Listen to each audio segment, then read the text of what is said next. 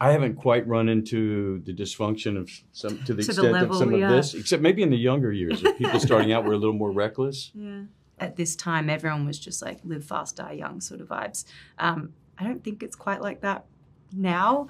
Um, for a number of reasons, the industry has evolved, but yeah, it was a it was a crazy time. I, I don't think it feels quite the same.